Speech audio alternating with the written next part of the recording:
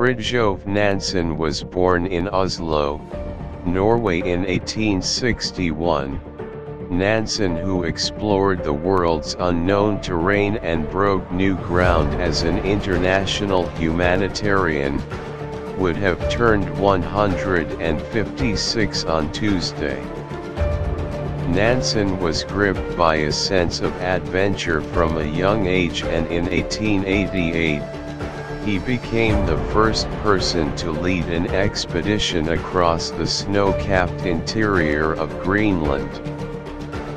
One icy adventure was not enough though. Just a few years later, Nansen attempted to become the first person to reach the North Pole. Although the expedition was unsuccessful, he did go farther north in latitude than any other explorer at that time.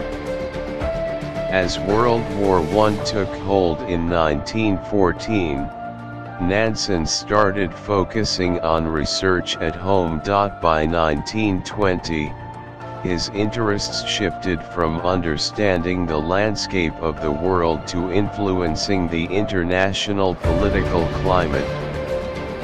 Nansen worked to free hundreds of thousands of prisoners of war and repatriate refugees.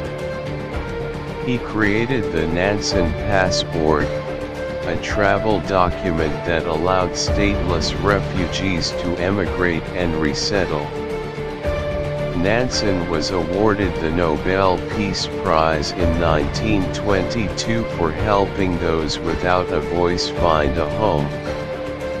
Nansen died on May 13, 1930.